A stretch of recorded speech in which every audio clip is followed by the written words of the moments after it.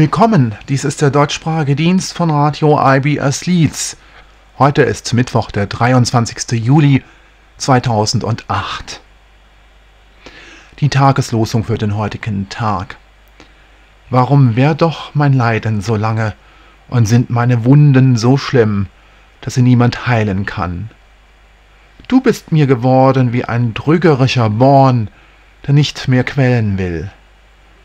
Jeremia Kapitel 15 Vers 18 Es wurde ein Mann herbeigetragen, lahm vom Mutterleibe. Als er Petrus und Johannes sah, wie sie in den Tempel hineingehen wollten, bat er um ein Almosen. Petrus aber sprach, Silber und Gold habe ich nicht, was ich aber habe, das gebe ich dir. Im Namen Jesu Christi von Nazareth, steh auf und geh umher.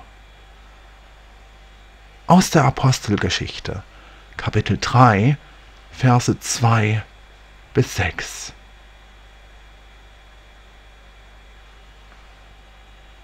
Das war die Tageslosung für Mittwoch, den 23. Juli 2008. Sie hören den deutschsprachigen Dienst von Radio IBS Leeds, Independent Broadcasting Service, Leeds, England, West Yorkshire, United Kingdom. Ich wünsche Ihnen einen guten und angenehmen Tag.